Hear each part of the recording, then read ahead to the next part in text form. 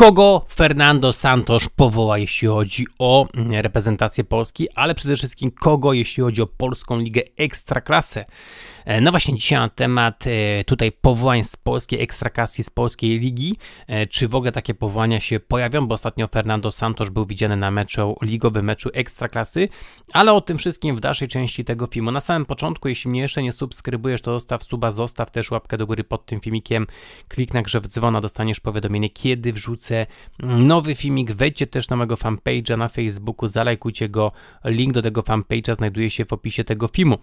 No właśnie, dzisiaj na temat E, Fernando Santosza, który ostatnio był widziany na meczach ligowych. No i trwają dyskusje, kogo tutaj e, Fernando Santos powoła, jeśli chodzi o reprezentację Polski, e, kogo powoła z polskiej ligi. No tutaj mamy zdjęcie właśnie Fernando Santosza, który został przyłapany, nawet widzimy odział się w czerwony sweterek, który po prostu symbolizuje, czy miałby nawiązywać do naszych kolorów barw narodowych. Natomiast tak, no Fernando Santos przecież na samym początku, jak został zaprezentowany na konferencji prasowej, no to nie ukrywał tego, że on nie obserwował wcześniej ekstraklasy, nie ma co mu się dziwić. Natomiast czy rzeczywiście Fernando Santos jest po prostu w stanie wyłowić pewne perełki, jeśli chodzi o polską ligę? No ja mam duży znak zapytania. Tak bardzo bym chciał, ale jednak ma, po prostu mam duży znak zapytania. Bo jeżeli on dzisiaj będzie dopiero monitorował po prostu polską ligę, polską ekstraklasę, to pytanie też jest takie, czy on to będzie robił po prostu dla zachowania pozoru, bo tego od niego wymaga PZP, a tak naprawdę będzie stawiał na zawodników zagranicznych. Kolejna sprawa też jest taka, rola tutaj na przykład asystentów, mają być ogłoszeni asystenci Fernando Santosza.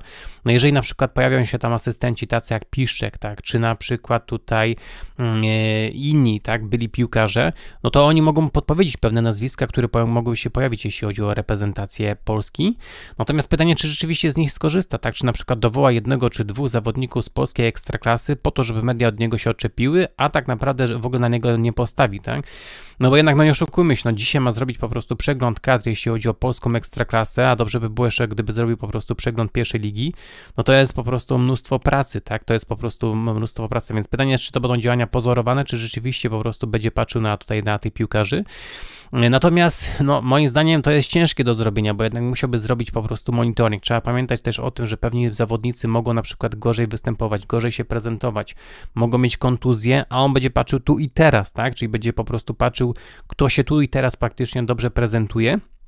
Natomiast, e, no, no wiadomo, teoretycznie to mówi się w ten sposób, tak, najlepsi powinni trafiać do kadry, no ale czasami ten najlepszy, wiadomo, jak to w piłce jest, po prostu może mieć kontuzję, może mieć problemy jakieś zdrowotne, e, a i zostanie kompletnie przeoczony, tak, zostanie on po prostu kompletnie przeoczony.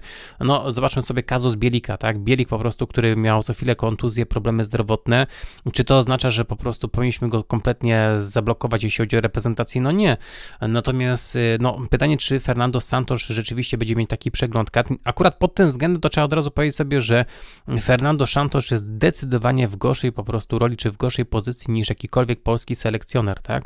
Selekcjoner wybra, wybrany z Polski, czy Czesław Michniewicz, czy na przykład inny, tak, czy Brzęczek, no bo jednak oni e, mieli po prostu pojęcie, tak, e, i to bardzo duże na temat po prostu e, piłkarzy występujących w Ekstraklasie, mieli ten przegląd kadr, prowadzili drużyny, tak, e, czy na przykład tutaj Brzęczek prowadził Wisłę Płock, czy tutaj właśnie Czesław Michniewicz, to wiadomo, wielu klubów, klubów prowadził, ale między innymi tutaj właśnie w ostatnim czasie Legię Warszawa, więc kapitalny po prostu przegląd kadr.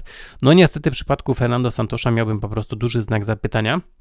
Ja sam dzisiaj nie będę mu po prostu tak proponował, no wiadomo, też nie ma jakichś zasięgów i w ogóle Santosz przecież nie, nie wziąłby tego pod uwagę, tam ja e, nie jestem jakimś doradcą, tak, ale nie będę dzisiaj rzucał tutaj jakichś nazwisk, o ten i ten powinien trafić do reprezentacji Polski, powinien niego zwrócić Sant, Santosz, e, bo to tak naprawdę ciężko powiedzieć, kogo dzisiaj można byłoby dołączyć do polskiej reprezentacji, e, tak, no byli tacy zawodnicy, którzy się świetnie prezentowali, tak na przykład Kozłowski w Pogoni Szczecin e, dostał po prostu angaż, jeśli chodzi o reprezentację Polski, gdzie, gdzie, gdzie dzisiaj praktycznie Kozłowski no dalej gra w piłkę, tak, ale pytanie jest takie, no właśnie, tak samo to jeśli chodzi o tych piłkarzy.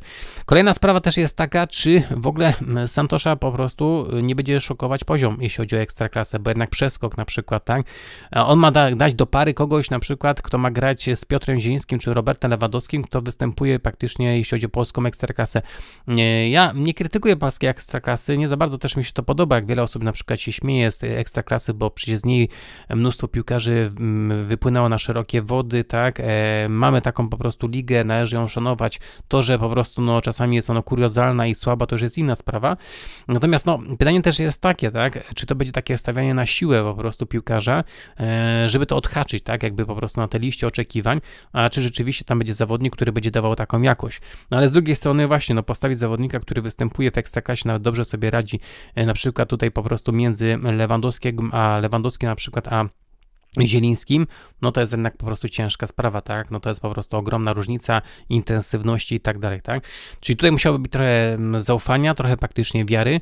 Oczywiście inna sytuacja była Santosza, jak on na przykład prowadził tutaj e, kluby piłkarskie, tak? Już pomijam reprezentację Portugalii, ale klub piłkarski. No bo jak masz klub piłkarski, no to do niego dotrafia już jest jakaś selekcja, są skauci, którzy po prostu do, te, do tego klubu trafia po prostu pewna grupa zawodników, tak? E, natomiast tutaj on e, praktycznie musi musiałby zrobić przegląd, tak? No nie, nie, nie dość, że musi robić przegląd tych piłkarzy, których mamy, tak, sprawdzać ci po prostu formę i dyspozycję, to jeszcze przegląd ekstraklasy. No a czasami są to takie decyzje nieoczywiste, tak, e, to też jest jakby po prostu rola bardzo ważna trenera i potem można poznać dobrego trenera, że on bierze danego zawodnika i u tego e, trenera ten zawodnik jeszcze lepiej się prezentuje, tak. To tak na przykład Coutinho. Coutinho kompletną po prostu padakę gra, jeśli chodzi o drużyny teraz, który występuje, czy na przykład wcześniej jak występował w Bayernie, e, tak, natomiast w Liverpoolu u Klopa, no to nie było nieprawdopodobne podobny Coutinho, tak? Natomiast Coutinho w Barcelonie tragedia, Coutinho w Bayernie tragedia, tak? Teraz w lidze angielskiej tragedia. Natomiast Coutinho po prostu pod wodzą mm, praktycznie tutaj Jurgena Kloppa to jest e, kapitalny zawodnik, tak? No i właśnie to jest ta, e, to jest po prostu ta moc sprawcza dobrego trenera. Tak samo mm, tego bym oczekiwał na przykład e, od Santosza, tak? No właśnie, jestem ciekaw, co wy na ten temat sądzicie, co na ten temat myślicie. E, pytanie też jest takie, no bo PZPN e, postawił pewne warunki, jeśli chodzi o Santosza. To były też takie warunki, które wynikały po prostu z Vox Populim, tak, z praktycznie tutaj oczekiwań społeczeństwa. Była kwestia tego, że selekcjoner ma być, mieszkać w Polsce po tych doświadczeniach z Paulo Sousą. No to to akurat jest oczywista sprawa. Dziwię się, że Cezary Kulesza już tego wcześniej nie zawarł w klauzuli, tak, no jesteś selekcjonerem trener ma mieszkać w tym kraju, koniec, kropka, tak, a nie sobie przyjeżdżasz i prowadzisz drużynę, co to ma w ogóle być po prostu, tak. Mm, tu już pomijam kwestię, że to jest trener zagraniczny, który tu w ogóle już nie mieszka, to już w ogóle po prostu jaki on ma związek praktycznie z Polską, nie wie co to jest kultura mm, w Polsce, jak funkcjonuje, tak, e, obyczaje tak dalej, myślenie. Natomiast tutaj były po prostu takie oczekiwania względem właśnie Cezarego Kuleszy, żeby tą umowę, którą przedstawi, jeśli chodzi o Paulo, e, jeśli chodzi o mm, Santosza, to będzie właśnie to, żeby on e, praktycznie tutaj zrobił przegląd, jeśli chodzi o piłkarzy z polskiej ekstraklasy, żeby mieszkał też w Polsce, tak? I te rzeczy rzeczywiście dzisiaj zostały po prostu zawarte, jeśli chodzi o umowę z nowym selekcjonerem. No właśnie, to wszystko dzisiaj. Dzięki za oglądanie, dzięki za słuchanie. Jeśli mnie jeszcze nie subskrybujesz, to zostaw suba, zostaw też łapkę do góry pod e, tym filmikiem.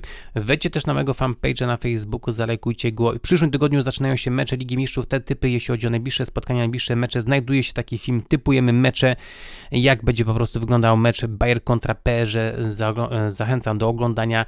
E, takie moje wstępne typy właśnie znajdują się na kanale na YouTube. Pozdrawiam, trzymajcie się, cześć!